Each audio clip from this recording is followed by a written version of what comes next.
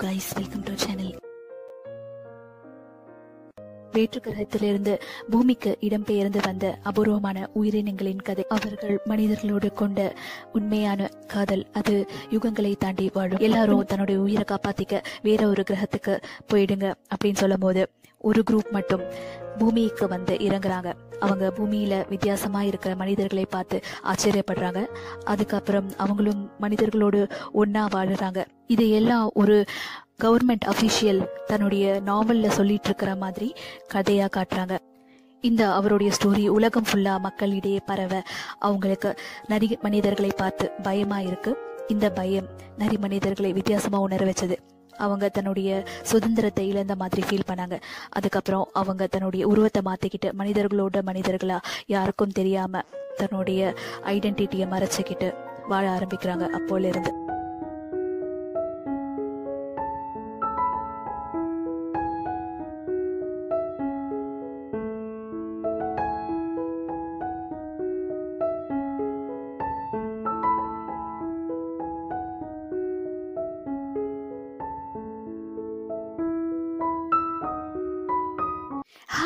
Friends welcome back இன்றைக்கி நம்ம மோன்ஷன் நைன்டீன் எபிசோட் சிக்ஸ்டீன் பார்க்கலாம். எபிசோட் ஒன் டு ஃபிஃப்டீன் பார்க்காதவங்களுக்காக லிங்க் டிஸ்கிரிப்ஷனில் கொடுத்துருக்கேன். அவங்க போய் அங்கே பார்த்துக்கலாம். ஆல்சோ நியூ வியூவர்ஸ் அண்ட் சப்ஸ்கிரைபர்ஸ்க்காக ஐ பட்டன் ப்ரெஸ் பண்ணிங்கன்னா இந்த எபிசோட் மோன்ஷன் வேலண்டைன் எபிசோட் ஒன்லேருந்து நீங்கள் மிஸ் பண்ணாமல் பார்க்கலாம். இப்போ வாங்க இன்றைக்கி எபிசோட் சிக்ஸ்டீனுக்குள்ளே பார்க்கலாம். ஹீலேங் அவள் ஒரு பேப்பரில் எதையோ வரைஞ்சிக்கிட்டு இருக்கா. பிபி வந்து அவள் பக்கத்தில் உட்காந்து என்ன வரைஞ்சிட்ருக்கீங்க? அப்படின்னு கேட்குறா அதுக்கு அந்த ஹீலன் சொல்கிறான் இது என்னோடய பேர் தான் ஜி அப்படின்னு சொல்லிட்டு. அதுக்கு பிபி இதே போல் ஒரு லெட்டரை எனக்கும் தெரியும் எங்களோட சைனீஸில் அப்படின்னு சொல்லி அவள் ஒரு லெட்டரை எழுதுறா. அதோட தன்னோட ஹேண்ட் ரைட்டிங் ரொம்ப மோசமாக இருக்குன்னு சிரிச்சிக்கிறா. அப்புறம் ஹீலன் அவளோட கையை பிடிச்சி நான் உனக்கு என்னோடய பேரை எழுத கற்றுக் கொடுக்குறேன் அப்படின்னு சொல்லிட்டு அவனோட பேரை எழுதுறதுக்கு கற்றுக் கொடுக்குறான். அப்போ அவன் சொல்கிறான் இந்த பேரோட மீனிங் என்னன்னு தெரியுமா உனக்கு? இந்த பெயர் பல மர்ம முடிச்சுகளை அவுக்கக்கூடிய சக்தி இருக்கிறவனுடைய பேர். அது மட்டும் இல்லாமல் இந்த பெயர் வச்சிருக்கிறவன் ரொம்ப கூர்மையான அறிவுடையவன் அப்படின்னு சொல்கிறான் ஓஹோ உங்களுக்கு நிறைய விஷயம் தெரிஞ்சிருக்கு அப்படின்னு சொல்லிட்டு அவள் எனக்கு என்னோட இங்கிலீஷ் எக்ஸாம் படிக்க டைம் ஆச்சு அப்படின்னும் அவள் ஒரு புக்கை எடுத்துகிட்டு வந்து படிக்கிறாள் ஆனால் அது இங்கிலீஷாக இருக்கறனால அவளுக்கு சில வேர்ட்ஸ் தெரியல. ஹீலன் சொல்கிறான் என்னால் உனக்கு உதவி பண்ண முடியும் அப்படின்னு. அப்போது அந்த பிபி கேட்குறா உங்களுக்கு இங்கிலீஷ் கூட தெரியுமா? அப்படின்னு. அந்த ஹீலன் சொல்கிறான் ஆமாம் நான் ஆயிரம் வருடங்களுக்கு மேலே வாழ்ந்திருக்கேன். சாஃப்ட் ஸ்கில் எனக்கு அத்துபடி அப்படின்னு சொல்கிறான் அதுக்கப்புறம் ஹீலேங் தன்கிட்ட இருக்கிற ஒரு டிக்ஷனரியை எடுத்துகிட்டு வரேன்னு போகிறான் ஆனால் பிபி சொல்கிறா இங்கே உட்காருங்க நான் போய் எடுத்துகிட்டு வரேன் அப்படின்னு சொல்லிட்டு அவள் ஒரு ரூம்குள்ளே போய் அவளோட டிக்ஷனரி எடுக்க போகிறாள் அப்போது அவள் ஒரு பாக்ஸை ஒரு ஷெல்ஃப்லேருந்து எடுத்து பார்க்கும்போது அந்த டிக்ஷனரி கூட இன்னொரு ஒரு மேப்பையும் பார்க்குறான் அதை ஓப்பன் பண்ணி பார்க்கும்போது அது வேறு எதுவும் இல்லை. அந்த ஜி அந்த பழங்காலத்தில் அந்த பிபியை ஹியூவான மனசில் நினச்சி அவளோட இறப்புக்கு அப்புறமா அவன் வரைஞ்ச அந்த படம். அந்த ஓவியத்தை பார்த்துட்டு அவள் திரும்பவும் அந்த ஓவியத்தை அதே இடத்துல வச்சிடுறா. அதுக்கப்புறம் ஹீலாங் தனியாக இருக்கும்போது அவ அவ கேட்குறா இதுக்கு முன்னாடி உங்களுக்கு வேறு யாரையாவது விரும்பியிருக்கீங்களா? அப்படின்னு கேட்குறா அதோட அந்த ஹீலாங் அவகிட்ட சொல்கிறான் நான் விரும்பின முதலும் கடைசியுமான பொண்ணு நீ மட்டும்தான். ஏன்னா இந்த ஆர்ப் வேறு யாருக்கும் சொந்தமானது இல்லை. ஓ ஒருத்திக்கு மட்டும்தான் சொந்தம் அப்படின்னு சொல்கிறான் ஆனால் பிபிக்கு அந்த ஓவியம் யாரோடையது அப்படின்ற ஒரு டவுட் இருந்துச்சு. நெக்ஸ்ட் சீனில் ஜவுசாங்க கட்டுறாங்க. அவன் தன்னோட வெட்டிங் காரணமாக ரொம்பவே எக்ஸைட்டடாக இருக்கான். அதோட ரெண்டு பேர் வந்து அவன்கிட்ட சொல்கிறாங்க சமையல் வேலையெல்லாம் முடிஞ்சிருச்சு. அதோட மற்ற டெக்கரேஷன் வேலையை தான் பாக்கி இருக்கு. அப்படின்னு சொல்கிறாங்க ஜாவோ சாங் தன்னோட வெட்டிங் காரணமாக அவன் பதட்டமாகவும் இருக்கான். அவள் டைனிங் ரூம்குள்ளே போயிட்டு சில விஷயத்தை யோசிச்சுட்டு இருக்கும்போது ஒருத்தர் வந்து அவன் கிட்ட பிரின்சஸ் ஜோவன் இந்த கல்யாணத்துக்கு வரப்போகிறதா சொல்கிறாங்க அதோட இது கேட்டுட்டு ஜாவோ சாங் இன்னமும் பதட்டமாயிடுறான். ஏன்னா பிரின்சஸ் ஜோவன் எந்த ஒரு மீட்டிங் ஃபங்க்ஷன்லலாம் கலந்துக்க மாட்டாங்க. ரொம்ப முக்கியமானதை தவிர. அதோட அதை சொல்லிட்டு அந்த பெரியவர் அங்கேருந்து போயிடுறாரு. நெக்ஸ்ட் சீனில் இந்த சியாசாவுடைய காஃபி ஷாப் காட்டுறாங்க. அங்கே கியான்யோங் ஜியூசியனை கம்பல் பண்ணி கூட்டிகிட்டு வரான். அதோட அவன் சொல்கிறான் இங்கே எதையாவது சாப்பிடு அப்படின்னு. அந்த ஜியூசியன் ரொம்ப ஓவராக பிகோ பண்ணிக்கிட்டு இல்லை எனக்கு எதுவும் வேணாம் அப்படின்னு சொல்கிறான் அப்புறம் அந்த கியான்யோங் இங்கே சாப்பிடு ரொம்ப எம்மையாக இருக்குல்ல அப்படின்னு சொல்லிட்டு அவங்க ரெண்டு பேரும் டிஸ்கஸ் பண்ணிட்டு இருக்கும்போது அந்த ஜியாசோ அவ என்ன விஷயம்? அப்படின்னு கேட்குறா அப்போது கியான்யோங் ரெண்டு சாண்ட்விச் அப்படின்னு ஆர்டர் கொடுக்குறான். நான் இப்போ கொண்டு வரேன் அப்படின்னு ஜியாசோ அது ரெடி பண்ணுறதுக்கு கிளம்பிட்டுருக்கா அப்போ தான் இந்த ட்ராமாவில் ஒரு நியூ கேரக்டர் என்ட்ரி காட்டுறாங்க. அது வேறு யாரும் இல்லை ஜியாஸோடைய அப்பா. அவர் ஒரு மேத்தமெட்டிஷியன் அதுவும் இல்லாமல் அவர் நிறைய ரிசர்ச் பண்ணி அந்த கணக்கு விஷயத்துலேயே ரொம்ப மூழ்கி இருக்கிறவர். அவர் வேகமாக உள்ள வந்து உட்காந்துட்டு அந்த டேபிளில் இங்கே பாரு சியாசோ நான் இப்போ ஒரு புது விஷயத்தை கண்டுபிடிச்சிருக்கேன். நீ பாரு அப்படின்னு அவளை கூப்பிட்டு காட்டுறாங்க. ஆனால் அவளுக்கு எதுவும் புரியல. இதை தூரத்துலேருந்து பார்த்துட்டு இருந்த கியானியோங் சடனாக ஓடி வந்து எனக்கு தெரியும் இது என்கிட்ட சொல்லுங்கள் அப்படின்னு. இது இல்லை இல்லை இது வேறு நீங்கள் வேறையாக சொல்லிட்டு இருக்கீங்க. இது ஷ்ரோடிங்கர் ஈக்குவேஷன் அப்படின்னு அவனும் அந்த டிஸ்கஷனில் அவர் கூட கலந்துக்கிட்ட ரெண்டு பேரும் உட்காந்து ரெண்டு பேருமே எதோ ஏதோ பேசிகிட்ருக்காங்க ஆனால் இது எதுவுமே அந்த ஜியாசோக்கும் புரியலை. அங்கே இருந்த ஜியோசியானுக்கும் புரியலை. அவன் ஜியூசியன் தூரத்துலேருந்து இது எல்லாத்தையும் நின்றுக்கிட்டு பார்த்துக்கிட்டு சிரிச்சுக்கிட்டே இருந்தான். அதோட ஜியாசோ அவன்கிட்ட போய் பேசுகிறா இது என்ன கியானியோங் இப்படி பண்ணிகிட்டு இருக்கான்? எதுக்கு தான் இங்கே வந்தான் ஆக்சுவலாக அப்படின்னு சொல்லிட்டு ஜியாசோ அந்த ஜியூசியன் கிட்ட கேட்டுட்டு அந்த ஜியூசியன் சொல்கிறான் அந்த கியானியோங்கும் இப்படி தான் அவனும் மேக்ஸ்னா அவனுக்கும் பைத்தியம் அப்படின்னு சொல்கிறான் அப்போது ஜியூசியன் அவளோட அப்பாவை பற்றி கேட்குறான் அப்போ ஜியாசோ சொல்கிறா என்னுடைய இந்த மேக்ஸ் ரிசர்ச்னு இதிலேயே மூழ்கியிருந்தனால இதே மாதிரியே நிறைய விஷயங்களை பண்ணிகிட்டு இருந்தார். இது எங்கள் அம்மாவுக்கு சுத்தமாக பிடிக்கல. இதே காரணமாக வச்சு அவங்க அவரை டைவர்ஸ் பண்ணிவிட்டு ரீமேரேஜ் பண்ணிக்கிட்டாங்க. மறுமணம் பண்ணிட்டதை எங்கள் அப்பாவால் தாங்கிக்கவே முடியல. அவங்கள தன்னோட லைஃப்பில் இல்லை அப்படின்னு அவரால் ஏற்றுக்கவே முடியல. அதுக்கப்புறமா தன்னோட அப்பா இது போல் ஆயிட்டாரு. எப்போ பார்த்தாலோ எதையாவது ஒன்றத்தை வச்சு டிஸ்கஸ் பண்ணிக்கிட்டு எதையாவது ஒன்று ரிசர்ச் பண்ணிக்கிட்டே இருப்பார். அப்படின்னு சொல்கிறா அதோட தன்னோட லைஃப்லேருந்து அவருடைய மனைவி போனது. அவர் எப்படி பார்த்தாருன்னா எல்லா விஷயத்துக்கும் ஒரு ஸ்டாண்டர்டான ஆன்சர் இருக்கும் அப்படின்னு நினச்சாரு. ஆனால் ரிலேஷன்ஷிப்பில் அப்படி கிடையாது அப்படின்றது அவருக்கு புரியல. ஏன்னா யார் இருந்தாலும் இல்லைனாலும் நம்மளோட லைஃப் போய் தான் ஆகணும். நம்ம ஒரு ஒரு நிமிஷத்தையும் நம்ம என்ஜாய் பண்ணிவிட்டு நம்ம லைஃப்பை வாழ்ந்து தான் ஆகணும். அதே போல தான் நான் நினச்சி என்னோடய ஹைஸ்கூல் முடித்து நானே சைடில் வேலை பார்த்து இப்போ வரைக்கும் எனக்கும் என்னோடய லைஃப் கஷ்டமாகவே தெரியல. ஏன்னா நான் என்ஜாய் பண்ணிட்டு தான் இருக்கேன் என் லைஃப்பை அவரை பார்த்து. ஏன்னா அவர் தன்னோட லைஃப்பில் எவ்வளோ கஷ்டம் வந்தாலும் அவரோட வேலையை பாட்டு பார்த்துக்கிட்டு அவர் பாட்டுக்கு போயிட்டுருக்காரு அவர் எனக்கு ஒரு இன்ஸ்பிரேஷன் போல தான் அப்படின்னு அவள் சொல்கிறான் இப்படியெல்லாம் ஜியோசோ பேசிகிட்டு இருக்கிறத கேட்டுட்டு ஜியோசியானுக்கு ஜியோசியனுக்கு ஒரே சிரிப்பு சிரிப்பாக வருது. அவன் சிரிச்சுக்கிட்டே அவளை பார்த்து இப்படி ஒரு கேரக்டர் இருக்க பொண்ணுக்கு கடைசி வரைக்கும் எவனுமே மாட்ட மாட்டான் உனி நீ கடைசி வரைக்கும் கிளவியாவே தான் சாக போகிற அப்படின்னு சொல்கிறான் அதுக்கு இந்த மாதிரியெல்லாம் சாபம் விட்டனால நான் ஒன்றும் இதுக்கெல்லாம் கவலைப்பட மாட்டேன். ஏன்னா அப்போ கூட நான் உங்கள் ரெண்டு கிழவங்க கிட்ட வரவும் மாட்டேன் உங்களை பார்க்கறதுக்கு அப்படின்னு சொல்கிறான் உங்கள் தயவு எனக்கு தேவையும் இல்லை அப்போது அப்படின்னு சொல்லிட்டு இருக்கும்போது அவன் சொல்கிறான் திரும்பவும் அந்த ஜியோசியன் அவன் சொல்லது கேட்டுட்டு கூலாக சிரிச்சுக்கிட்டே அவகிட்ட மிஸ் ஜியாசோ கொஞ்சம் இருங்க ஒரு சின்ன கரெக்ஷன் நீங்கள் திரும்பியும் தப்பு பண்ணுறீங்க பார்த்தீங்களா நான் எப்போவுமே நாங்கள் ரெண்டு பேரும் இப்படியே இளமையாகவே தான் இருப்போம். ஏன்னா நாங்கள் ரெண்டு பேரும் மனுஷங்க இல்லை. நாங்கள் ரெண்டு பேரும் ஃபாக்ஸஸ் எப்படி இருந்தாலும் நாங்கள் இளமையாகவே தான் இருப்போம். எவ்வளோ வருஷம் ஆனாலும். இப்போது நீங்கள் யோசிங்க உங்கள் நிலைமை பற்றி பாவம் ஜியாசோ மிஸ் ஜியாசோ நீங்கள் கிளவியானா கூட கவலைப்படாதீங்க. எங்கள் கிட்ட வாங்க. நாங்கள் உங்களுக்காக ஒரு தனி ரூமை கொடுக்குறோம். அங்கே வந்து நீங்கள் உங்கள் மீதி காலத்தை ஒட்டிக்கலாம். நீங்கள் யாரும் இல்லை அப்படின்னு நினச்சி கவலைப்படாதீங்க. நாங்கள் அப்போது உங்களுக்காக கவலைப்படுறோம். நாங்கள் எங்கள் பெரிய பங்களாவில் ஒரு ஒரு குட்டி ரூமை உங்களுக்காக கொடுக்குறோம் அப்படின்னு சொல்கிறான் ஆனால் அந்த ஜியாசோ உங்களோட தயவு எனக்கு தேவையே இல்லை. அப்போ கூட நான் உங்ககிட்ட வரவே மாட்டேன். அப்படின்னு சொல்கிறா சிரிச்சுக்கிட்டே. நெக்ஸ்ட் சீனில் கியான் ஹுவா தன்னோட மேரேஜ்க்கு ரெடி ஆகிட்டு இருக்கிற போல காட்டுறாங்க. ஒரு மணப்பெண்ணா.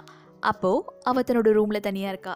அந்த ஜோசாங் அவளை பார்க்கறதுக்காக வந்து அவகிட்ட பேசுகிறான் அந்த ஜோசாங் சொல்கிறா பிரின்சஸ் ஜோவான் இங்கே வரப்போகிறத நான் கேள்விப்பட்டேன் அப்படின்னு சொல்லிட்டு இருக்கும்போது அப்போது அவன் கியான் ஹுவா கிட்ட நீ கவலைப்படாத நீ பயமும் படாத. அவங்க வந்து எந்த ஒரு விஷயம் பண்ணுறதுக்கு முன்னாடி நம்ம மேரேஜை முடிஞ்சிடணும் அப்படின்னு சொல்கிறான் மேரேஜ் முடிச்சதுக்கப்புறம் அவங்களால நினச்சா கூட அந்த மேரேஜை தடுக்க முடியாது அப்படின்னு சொல்கிறான் அப்போது அந்த பிரின்சஸ் ஜோவான் இங்கே வர்றதுக்கு நம்ம நிறைய விஷயங்கள் அவங்கக்கிட்ட கேட்கணும். அவங்க இந்த ஆர்ப்பை பற்றி கேட்டு நான் என்ன சொல்லுவேன் அப்படின்னு சொல்கிறா அதுக்கு அந்த ஜோசங் சொல்கிறான் நீ கவலைப்படாத. நான் இந்த பெரியவர்களுடைய சம்மதத்தோடு தான் இந்த ஆர்பை உனக்கு முன்னாடியே போட்டுட்டேன் அப்படின்னு சொல்லி வச்சுருக்கேன். அதனால் அவங்க அதை பற்றி கேட்டால் நீ கவலைப்படாத அப்படின்னு சொல்கிறான் நான் நோட் பண்ணேன் அந்த போசாங் எதையோ பண்ணுறதுக்கு காத்துட்ருக்கான். அதோட பிரின்சஸ் ஜோவான் இங்கே வந்தால் கூட அவங்க இந்த ஆர்பை பற்றி கேட்டால் நீ கவலைப்படாமல் தைரியமாக பதில் சொல்லு. ஏன்னா இந்த மேரேஜ் நடந்தாலும் அப்படி நடக்கலைனாலும் எனக்கு உன்னை கல்யாணம் பண்ணிக்கணும்னு நிஜமான நம்ம மேரேஜ் நடக்கணும் அப்படின்னு ஆசை இருக்குது அதுவும் என்னை மட்டுமே விரும்புகிற ஒரு பெண்ணை அப்படின்னு சொல்லி அவகிட்ட எனக்கு உன்னை ஒரு நாள் கண்டிப்பாக கல்யாணம் பண்ணணும். உனக்கும் இதில் விருப்பம் தானே அப்படின்னும் அவகிட்ட கேட்குறான் அதுக்கு கேன்ஹுவா சொல்கிறா ஆமாம் ஆனால் அதுக்கு கொஞ்ச நாள் நீ வெயிட் பண்ணி ஆகணும். அப்படின்னு சொல்லிட்டு இருக்கும்போது அந்த ஜோசாங் கண்டிப்பாக நிச்சயமாக நான் வெயிட் பண்ணுவேன். இப்படி சொல்லிட்டு அந்த ஜோசாங் அந்த ரூமை விட்டு போயிடுறான். அதுக்கப்புறம் யாரோ கதவை தட்டுறாங்க. அந்த கியன்ஹுவா திரும்பி பார்க்குறா நெக்ஸ்ட் சீனில் அந்த காஃபி ஷாப்பை காட்டுறாங்க. அப்போது அந்த ஜியோ சியான் அவள் பார்த்துட்டே இருக்கா. அவங்க ரெண்டு பேரும் ரொம்ப சீரியஸாக டிஸ்கஸ் பண்ணிகிட்டு இருக்காங்க. கியான் யாங்கும் அவளோட அப்பாவும். இதை பார்த்துட்டு அந்த ஜியோசியன் அவனும் சிரிச்சுக்கிட்டே இருக்கான். அவன் அந்த சியாசோ கிட்ட இங்கே வா அப்படின்னு கூப்பிட்டு அவன் சொல்கிறான் உனக்கு என்ன ஆச்சுன்னு எனக்கு இப்போ புரிஞ்சு போச்சு. உனக்கு அவங்கள பார்த்தா பொறாமையாக இருக்குது உனக்கு எலக்ட்ரோ காம்ப்ளெக்ஸ் இருக்குது அப்படின்னு சொல்லி சிரிக்கிறான். ஜியோசியான் கிட்ட அந்த ஜியாசோ சொல்கிறா அட கடவுளே இந்த கியன்யோங் என்ன? இவனும் எங்கள் அப்பா மாதிரியே இருக்கான். ஜியூசன் கிட்ட அவன் சொல்கிறா இவனை பாரேன் அவன் எதுக்கு வந்தான்? இப்போ அவன் என்ன பண்ணிக்கிட்டு இருக்கான்? இப்படியே போச்சுன்னா ஏன் நிலைமை என்ன ஆகும்? அப்படின்னு அவ தனக்குள்ளேயே மனசில் எதுவும் நினச்சிக்கிட்டு அது சியூசியான் கிட்டேயே சொல்லி சியூசியானுக்கோ இது கேட்டுட்டு சிரிப்பை தாங்கலை. நெக்ஸ்ட் சீனில் அந்த ஜவோசாங் நின்று இருக்கும்போது ஒரு ஆள் வந்து அவன்கிட்ட சொல்கிறான் என்னால் அந்த பிரின்சஸ் ஓவனை தடுக்க முடியல. அவங்க நேராக வந்து கியான் ஹோவை பார்க்கணும்னு சொல்லிட்டு அவங்க ரூம்குள்ளே போயிட்டாங்க. அப்படின்னு சொல்லிட்டு இருக்கும்போது அந்த ஜவோசாங் அந்த ஆள் கூட சேர்ந்து வேகமாக அவங்கள பார்க்கறதுக்காக போகிறான் இங்கே அந்த கதவை தட்டினது வேறு யாரும் இல்லை. பிரின்சஸ் ஜோவான் தான் கியான் ஹோவா பார்க்க வந்திருக்காங்க. கியன் ஹுவா போய் கதவை திறந்து பார்க்கும்போது அவளுக்கு கொஞ்சம் ஷாக்காக இருக்குது பிரின்சஸ் ஓவன் டேரெக்டாக அவகிட்ட வந்து பேசுறது. அப்புறம் பிரின்சஸ் ஓவனை உள்ளே கூப்பிட்டு அவள் பேசிகிட்டு இருக்கும்போது பிரின்சஸ் ஓவன் அவகிட்ட உன்னோட மேரேஜில் கலந்துக்க நான் ரொம்ப மகிழ்ச்சி அடைகிறேன் அப்படின்னு சொல்லிட்டு அவளோட கழுத்தில் இருக்கிற ஆர்பை ரொம்பவே உத்து பார்த்து அவங்க ஷாக் ஆயிடுறாங்க. அப்புறமா அவங்க போய் ஒரு இடத்துல உட்காடுறாங்க அதோட அந்த இடத்துல கரெக்டாக ஜோசங் வந்து அந்த பிரின்சஸ் ஜோவானை மீட் பண்ணி அவங்க இங்கே மேரேஜ்க்கு வந்ததுக்கு ரொம்பவே மகிழ்ச்சி. நீங்கள் இப்படி பெரியவங்க வந்தது எனக்கு ரொம்ப சந்தோஷமாக இருக்குது அப்படின்னு சொல்லிட்டு அந்த கியான் ஹுவா கிட்ட அவள் கழுத்தில் இருந்த ஆர்பை அவன் கழட்டி எடுத்துக்கிறான். அதோட அவன் சொல்கிறான் இது நம்ம பெரியவர்கள் முன்னாடி நம்ம மாற்றிக்கிட்டது ஆனால் இது ஒரு சடங்குபடி ஒரு மேரேஜ்க்கு அடுத்தது தான் நம்ம போடணும்.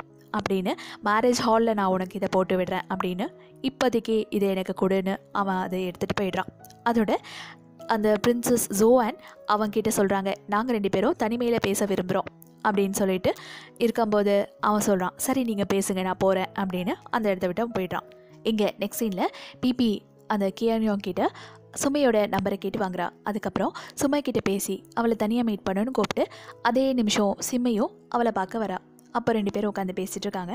அந்த சுமை கிட்ட பிபி கேட்குறா ஹியூஆன் அப்படின்றது யார் அப்படின்னு கேட்குறா அதுக்கு அந்த சுமை சொல்கிறா ஹியூஆன் அப்படின்றது நீயே தான் நீ தான் ஹியூஆன் இது நீ மிங் டைனஸ்டியில் இருக்கும்போது நிங்வென் அப்படின்ற பேரில் இருந்த அதுக்கப்புறம் சாங் டைனஸ்டியில் நீ ஷெங் ஹியூவன் அப்படின்ற பேரில் அழைக்கப்பட்ட இப்போது நீ பிபி குவான் பிபியாக இருக்க இந்த ஜென்மத்தில் அப்படின்னு சொல்கிறான் அதை கேட்டுட்டு பிபிக்கு ஒன்றும் புரியல. அதோட பிபி விளையாடாத அப்படின்னு சொல்லிட்டு சுமை கிட்ட உண்மையே கேட்குறா அப்போ சுமை சொல்கிறா இது நீயே தான் நீ ஹியூவன் அது தொள்ளாயிரம் வருடங்களுக்கு முன்னாடி இப்போது நீ குவன் பிபியாக பிறந்திருக்க அப்படின்னு சொல்கிறா அதுக்கப்புறம் அந்த குவன் பிபி அவளோட மொபைலில் அந்த ஓவியத்தை படம் பிடிச்சு வச்சுது. அதை சுமை கிட்ட காட்டுறா. அதோட கேட்குறா இது யார்? அப்படின்னு. இது நீ தான் ஹியூவன் ஷெங் ஹியூவன் அப்படின்னு சொல்கிறா அதுக்கப்புறம் சுமை அந்த பிபி கிட்ட மொத்த ஸ்டோரியும் சொல்லிடுறாங்க. அவ சொல்கிறா அந்த பிபி கிட்ட லார்ட் கிங்மியோ அப்படின்றவர் அவர் பிறந்தப்பவே அவருடைய மகனான ஹீலாங்கு ஒரு வீக்கான குழந்தையாக இருந்தனால அவனுக்கு பிறப்பிலேயே கண்ணு தெரியல. அதனால் அவர் அந்த குழந்தையை வெறுக்கவும் செஞ்சார். ஆனால் வீக்கான ஒரு குழந்தைகள் ஃபாக்ஸ் கிளான் இனத்துக்கு இருக்கக்கூடாது அப்படின்னு அதை அழிச்சிடுவாங்க ஆனால் லார்ட் கிங்மியோ அப்படி செய்யலை. ஏன்னா ஹீலாங் அவருடைய ஒரே வாரிசு. அரசர் கிங்மியோ ஹீலானை உயிர் பிழைக்க வச்சாரு. ஏன்னா ஹீலான் அவருடைய ஒரே வாரிசு. அது மட்டும் இல்லாமல் அந்த ஹீலானுக்கு கண்ணு தெரியாதனால லார்ட் கிங்மியோ ஒரு சின்ன வயசு பொண்ணை அவருக்கு சின்ன வயசுலேயே கல்யாணம் பண்ணி அவளுக்கு பதினேழு வயசாகும்போது அந்த பெண்ணுடைய லிவரை சாப்பிட்றது மூலமாக அவனுக்கு கண்ணு தெரியும் அப்படின்ற ஒரு சடங்கை பின்பற்றினார். அதனால் அவர் சின்ன வயசுலேயே ஒரு பெண்ணை கண்டுபிடிச்சு அவளை அவனுக்கு கல்யாணமும் பண்ணி வச்சார். அந்த பெண் வேறு யாரும் இல்லை. ஹியூவன் ஆன அந்த பிரிவில் இருந்த நீ தான் ஹீலாங்க்கு கண் பார்வை திரும்ப வரும் அப்படின்ற விஷயம் லார்ட் கிங் மியூக்கு தெரிஞ்சிருந்துச்சு. ஏன்னா ஒரு மனித பெண்ணோட லிவரை சாப்பிட அது மட்டும் இல்லாமல் அந்த மனித பெண் அவ முழுமையாக அந்த ஹீலனை விரும்பியிருக்கணும். அவ முழுமையான அந்த காதலோட அவ இருக்கும்போது அந்த சக்தியால் அந்த காதலுடைய சக்தியால் அவனுக்கு திரும்பவும் அவளுடைய லிவர் மூலமாக கண் பார்வை வரும் அப்படின்னு லார்ட் கிங்மியோக்கு தெரிஞ்சிருந்துச்சு. பிபி அந்த சுமை கிட்ட கேட்டுட்டு இருக்கும்போது அந்த சுமை சொல்கிறா ஆமாம் லார்ட் கிங்மியோ ஒரு நாள் அரசவையில் அந்த ஹியூவனுடைய லிவரை அவரை தந்திரம் பண்ணி ஒரு கோப்பையில் அந்த ஹீலனுக்கே தெரியாமல் குடிக்க வச்சிட்டாரு. அதுக்கப்புறமா தான் அந்த ஹீலன் அதை உணர்ந்து அதோட லார்ட் கிங்மியை கூட பிரேக்கப் பண்ணிக்கிட்டு அவர் தனியாக போயிட்டார். ஆனால் அந்த மருந்து குடிச்சின விளைவா அந்த ஹீலனுக்கு கண் பார்வை வந்துச்சு. ஆனால் நைட்டில் மட்டும்தான் அவரால் பார்க்க முடிஞ்சுது. ஏன்னா அவர் ஒரு ஹைப்ரிட் அப்படின்றனால ஒரு மனித பெண்ணுக்கும் ஒரு ஃபாக்ஸுக்கும் பிறந்ததுனால ஒரு பாதி சக்தி தான் அவருக்கு வந்துச்சு. ஹீலாங் எங்கே போனாருன்னு தெரியாதனால லார்ட் கிங்மியூக்கு வேறு வழி இல்லாமல் அந்த லெஃப்ட் பிரின்ஸான ஜோசாங்க நார்த்தன் ஃபாக்ஸ் கிளான் இனத்துடைய தலைவராக ஆக்க வேண்டியதாயிடுச்சு. அப்படின்னு சுமை இது எல்லாத்தையுமே சொல்லிடுறா. அதோட இது கேட்டுட்டு பிபி ரொம்பவே எமோஷ்னலாகி அழுவுறா. அவள் சொல்கிறா இது அடுத்தவங்களுக்கு நடந்திருக்கு. ஆனால் ஏன் தெரியல? எனக்கு இதை டீப்பாக உணர முடியுது. அப்படின்னு சொல்லிட்டு நான் ஹியூவன் இல்லை. நான் குவன் பிபி தான். அப்படின்னு அவ சொல்லிக்கிறா. அதோட நெக்ஸ்டில் கியன்ஹுவா அந்த பிரின்சஸ் ஜோவான் கிட்டே பேசிகிட்ருக்கா அது மட்டும் இல்லாமல் அந்த வெட்டிங் ஹாலில் எல்லாருமே கூடியிருக்காங்க. அந்த வெட்டிங் ஹால்குள்ளே ஜோவசாங் வந்ததும் எல்லாருமே கைத்தட்டி உற்சாகப்படுத்தி அவனை வரவேற்கிறாங்க. அந்த ஜோவசாங் போய் தன்னுடைய ஆர்பாஃப் ஷாமை ஒரு இடத்துல வைக்கிறான். அப்போது ஒரு குரல் கேட்குது அந்த லார்ட் கிங் மியூ அங்கே வந்துடுறாரு. அவர் கை தட்டிக்கிட்டே அங்கே எல்லாரும் கலைஞ்சு போங்க. இந்த கல்யாணம் நடக்க போகிறதில்ல அப்படின்னு கோவமாக பேசிக்கிட்டு அந்த ஜோவசாங் கிட்ட வராரு. அவர் சொல்கிறாரு நல்லாயிருக்கு ரொம்ப நல்லாயிருக்கு என் பையனோட கல்யாணம் நடக்குது. ஆனால் எனக்கு அழைப்பு வரவே இல்லை அப்படின்னு கோவப்படுறார். கியன்ஹுவா அந்த பிரின்சஸ் ஜோவான் கிட்ட உண்மையை சொல்லிடுறா. அவள் சொல்கிறா என்னை மன்னிச்சிடுங்க.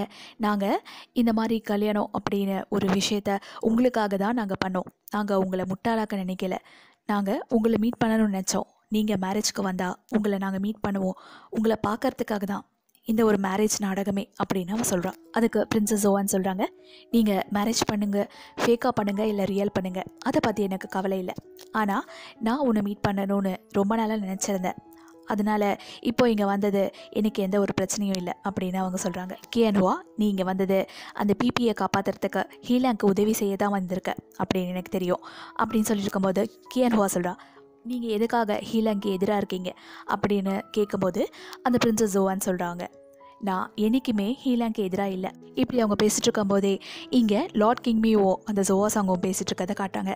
அப்போது அந்த லார்ட் கிங்மியோ ஜோவாசங் கிட்ட எதுக்கு இந்த மாதிரி பண்ணுற அப்படின்னு அவன்கிட்ட கோவப்படுறாங்க.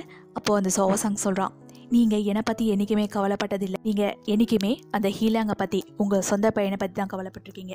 அப்படின்னு சொல்லிட்டு இருக்கும்போது அந்த கிங்மியோ சொல்கிறாரு நான் உன்னை பற்றி கவலைப்படலையா? உனக்காக தான் இவ்வளோ நாள் வரைக்கும் எல்லாமே செஞ்சிட்ருக்கேன். அப்படின்னு சொல்லும்போது அந்த ஜோசங் சொல்கிறான் இல்லை நீங்கள் எனக்காக என்னோடய ஆசைகளை நீங்கள் என்றைக்கு கேட்டிருக்கீங்க? எனக்கு ஒரு பொண்ணை பிடிச்சிருக்கு. ஆனால் அவளையும் இப்போது என்னை கல்யாணம் பண்ண விட மாட்டீங்க. என் கல்யாணத்தை நிறுத்திட்டீங்களே அப்படின்னு சொல்கிறான் அதுக்கு அந்த லார்ட் கிங்மியூ சொல்கிறாரு கியன் ஹுவா அப்படின்றவ அந்த ஜீக்கு நிச்சயிக்கப்பட்டவ அதோட லார்ட் கிங்மியூ ரொம்பவே கடுமையாக அவன்கிட்ட பேசி அவர் சொல்லிடுறாரு நீ யாரை வேணால் கல்யாணம் பண்ணிக்கோ ஆனால் கியன் ஹுவாவை மட்டும் நீ மணப்பெண்ணா கல்யாணம் பண்ணவே கூடாது அப்படின்னு சொல்லிட்டு இருக்கும்போது ஜோசாங் அவருக்கு எதிர்த்து பேசுகிறாரு அப்போது ரெண்டு பேருக்கும் வாக்குவாதம் நடந்து அந்த ஜோசாங்குடைய சட்டையை அந்த கிங்மியோ பிடிச்சு இழுக்கிறாரு. இதோட ரொம்பவே அவங்களுக்கு இடையில் அந்த சண்டை அதிகரிக்குது. பிரின்சஸ் ஜோவான் கியன்ஹுவா கிட்ட பேசிகிட்டு இருக்கும்போது சொல்கிறாங்க நான் என்றைக்குமே ஹில்லனை வெறுத்ததே இல்லை. அவன் என்னோட பையன்தான். அவன் என்னோட தங்கையுடைய பையன். அவன் ஜியனுடைய பையன் அப்படின்னு சொல்கிறாங்க அதுக்கப்புறமா தான் இங்கே நமக்கு இன்னொரு நியூ கேரக்டர் காட்டுறாங்க. அவங்க வேறு யாரும் இல்லை. அந்த பிரின்சஸ் ஓவனுடைய தங்கையான ஜியன் அந்த ஜியன் தான் அந்த ஹீலானுடைய அம்மாவும் கூட. இங்கே இப்போ தான் பிரின்சஸ் ஜியானை பற்றி காட்டுறாங்க. இதோட எபிசோட் சிக்ஸ்டீன் எண்ட் ஆகுது. ஃப்ரெண்ட்ஸ் உங்களுக்கு இந்த எபிசோட் எப்படி இருந்துச்சு அப்படின்றது எனக்கு கமெண்ட்டில் சொல்லுங்கள் அதோட பிடிச்சா ஒரே ஒரு லைக் பண்ணுங்கள் நம்ம சேனலில் ரெட் கலர் இருக்க சப்ஸ்கிரைப் பட்டன் ப்ரெஸ் பண்ணி அதோட பெல் ஐக்கான் ப்ரெஸ் பண்ணி ஆல் அப்படின்ற ஆப்ஷன் கொடுத்தீங்கன்னா இதே போல் நிறைய வீடியோஸ் உங்களுக்கு நோட்டிஃபிகேஷனாக நான் அப்லோட் பண்ணுற அதே டைமில் லைவாக கிடச்சிக்கிட்டே இருக்கும். அதோட நான் உங்களை நெக்ஸ்ட் வீடியோவில் சந்திக்கிறேன். அது வரைக்கும் state into world drama explain நான் உங்கள் Amal. Thank you so much friends see soon